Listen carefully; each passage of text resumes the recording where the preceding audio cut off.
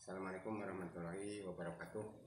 Perkenalkan nama saya Frediat sebagai Kepala Desa Desa Sukamaju, Kecamatan Talegong, Kabupaten Garut. Mengucapkan terima kasih sebesar-besarnya kepada pemerintah pusat maupun pemerintah dari provinsi yang sudah mengucurkan dari pusat adalah uang dana desa, dari provinsi adalah banprop bantuan dari provinsi, dari kabupaten adalah dana alokasi desa yang sudah dikucurkan oleh Bapak Bupati Garut. Dan baru satu bulan sudah memberi bantuan sepeda motor untuk MUI.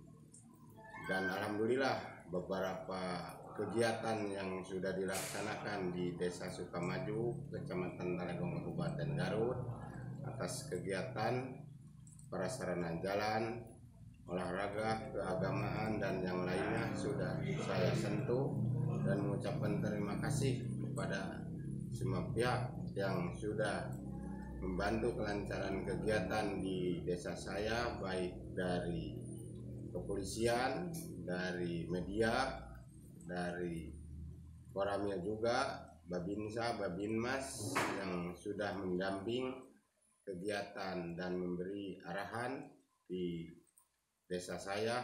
Alhamdulillah tentang dukungan dari semua pihak kegiatan di desa saya sudah terlaksana dengan baik dan mohon ke depannya kebetulan di desa saya banyak potensi untuk para wisata banyak air terjun dan hutan lindung yang bisa dibikin para wisata dan dana-dana yang sudah diberi bantuan dari kabupaten baik program sektoral jalan lingkungan maupun program DAS maupun irigasi yang sudah dilaksanakan dan untuk ke depannya memohon ada lagi.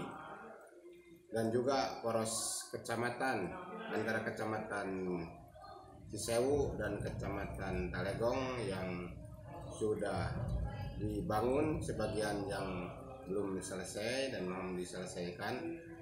Dan kemarin juga ada kegiatan alhamdulillah sudah dilaksanakan di Kecamatan Talegong tentang hari jadi Kecamatan Talegong dan yang ke 36 dan banyak kegiatan di antaranya olahraga. Alhamdulillah diraih juara satu untuk putri oleh Desa Sukamaju dan festival kesenian tentang calung juga Alhamdulillah sudah menjadi juara ketiga untuk Desa Sukamaju. Dan memohon kepada kepada pemerintah kecamatan untuk tahun ke depannya yang lebih semarak. Dan saya mengucapkan terima kasih atas dukungan warga kecamatan Nalegong dalam rangka kegiatan antusias hadir hampir semua warga masyarakat mendukung tentang kegiatan hari jadi kecamatan Nalegong. Dan saya juga